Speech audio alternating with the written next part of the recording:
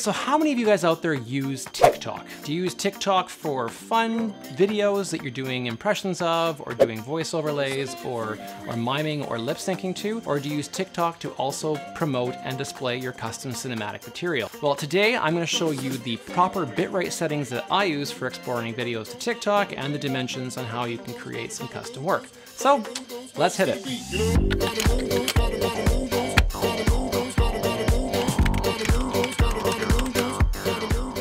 What is up guys and gals? My name is Stephen and this is Too Lazy for Google. This is a channel all about videography, droning, tech, cameras, uh, cinematic tutorials, ideas for editing, and basically more info on how you can raise your camera and video game. On today's episode, I wanted to do a quick video for you on how you can export custom cinematic content to TikTok. So are you one of the 800 million people who use TikTok? It's kind of crazy to think about this, but this app has been downloaded over 1.5 billion times and is now the top ranked download on the Apple App Store. It's always important as content creators that we utilize every app and every tool we possibly can. In the case of TikTok, it's hot, it's busy, and people are using it daily. In fact, there are almost 1.8 billion posts on TikTok on TikTok that are created every week and this number is only growing as the app is used more and more. When it comes to using any app for importing or uh, uploading video to,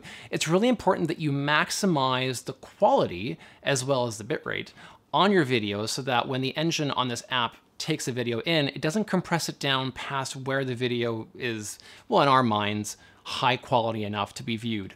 So enough of me yammering away talking to you about the magic of TikTok.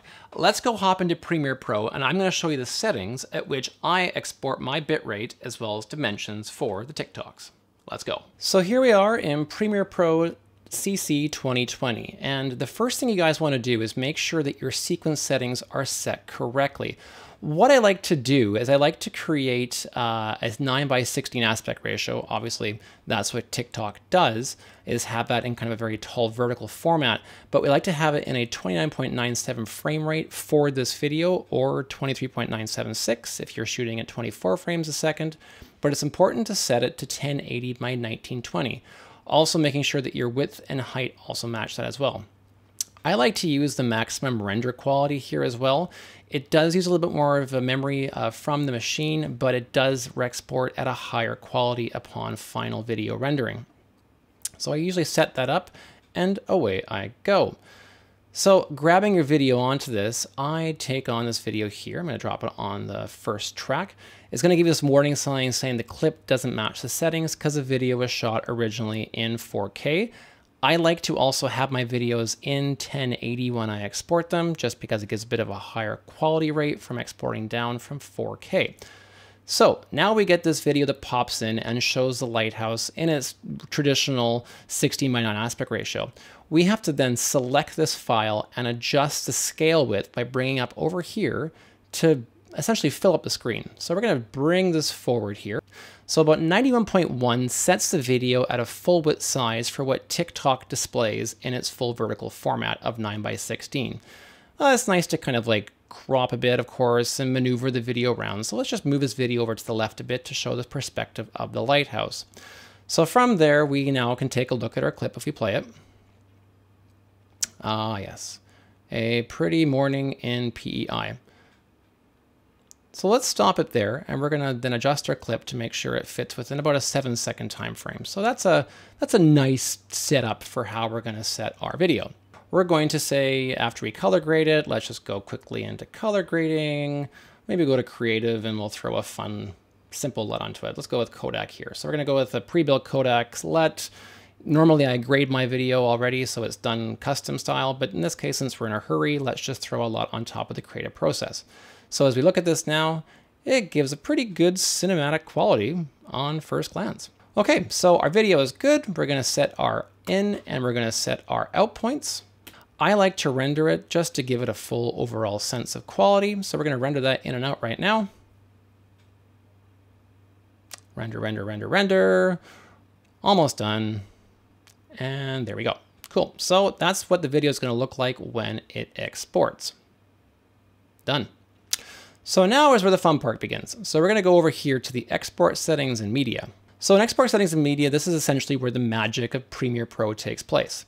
Right here, as you can see, we have our uh, settings for both the format, the presets, export audio, basically also a summary of the video itself too. It shows the frame rate, how it's being encoded, and the sequence settings there as well. So we have that all saved up, and we're gonna go down here now to the basic video settings. So this is essentially what the video settings are. So as we can see, we have a match source of high bitrate.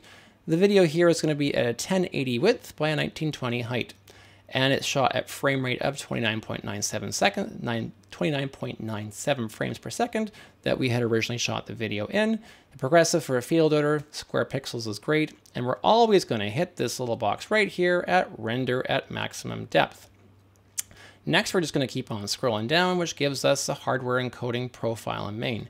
So these are settings that the encoder uses to basically compact the video file down to show also the level of how it's going to be exported out to the various platforms to display. I like to personally set this a bit and raise this to high. So high then changes the preset up here. You'll also see the custom. It's still matching the high bit rate, so don't worry about that. But since you're setting the high profile rating, is going to be then set out at a higher rate. We're going to scroll past this. We're going to scroll past custom light levels, and we're going to go down to essentially the most important part of this entire video, the bitrate encoding settings. So the bitrate encoding settings, uh, I like to set this for TikTok at VBR2 pass. So essentially, this is what happens when the video rate is encoded by the encoder.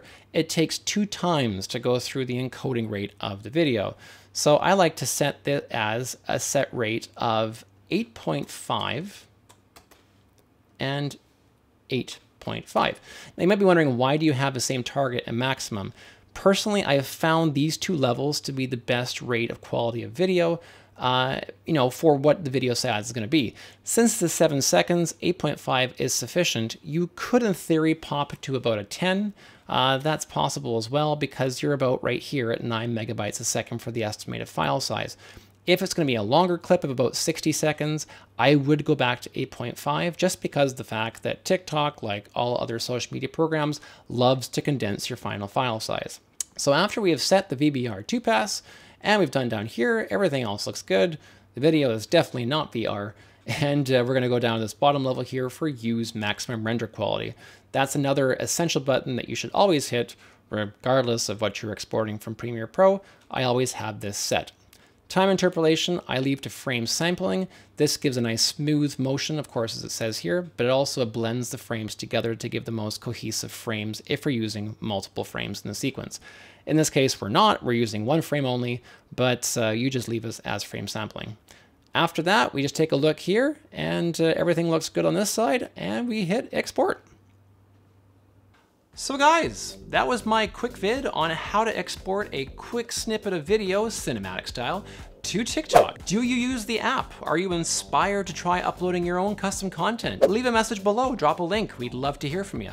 And also please hit like and smash that subscribe button below. And we'd love to hear from you as well as keep up to date with notifications on videos that we have upcoming. Both Janaka and I unfortunately can't vlog side by side because of social distancing and the COVID situation. However, we're gonna be bringing you content as best we can, both separately from our ideas in videography, cinematography, if Lumix is better than Sony, which it is, basic content coming up to help raise your camera game. So until then, make custom content, put it on TikTok, see what happens. You never know who might watch your vids. Ciao.